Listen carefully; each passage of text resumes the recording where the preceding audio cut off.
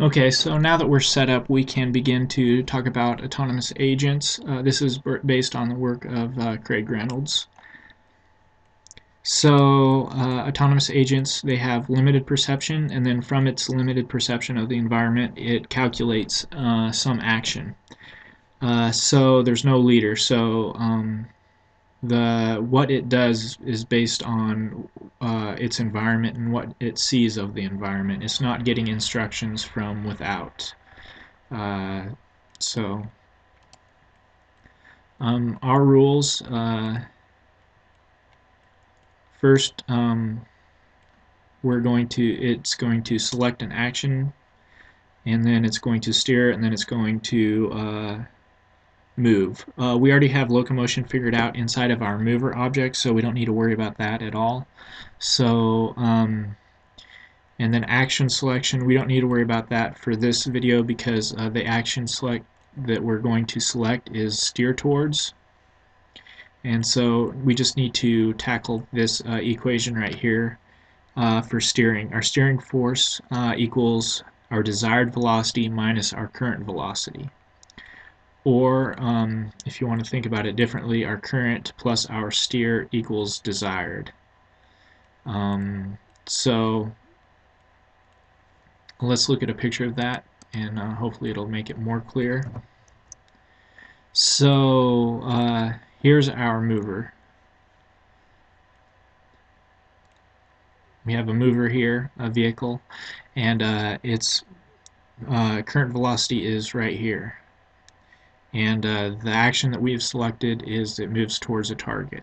So uh, we want to calculate the desired. We calculate the desired by a vector pointing from our vehicle position to the target position. And then you can see that this doesn't go all the way because we want to have it um, have some maximum value so our speed our vehicle can't move as fast it has some speed limit to it. It can't move as fast as uh, it can only move so fast.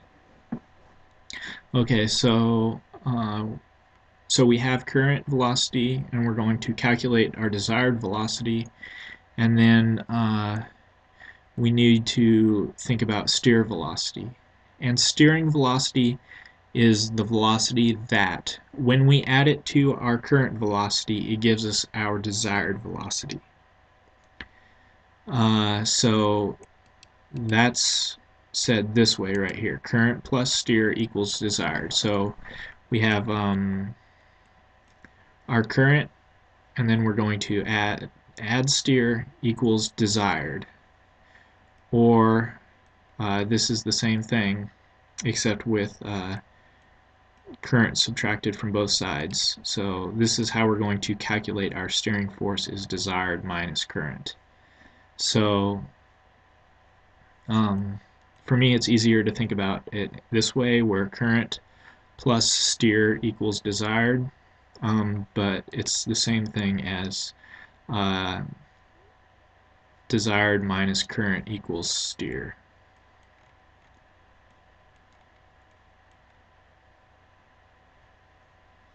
So, yeah.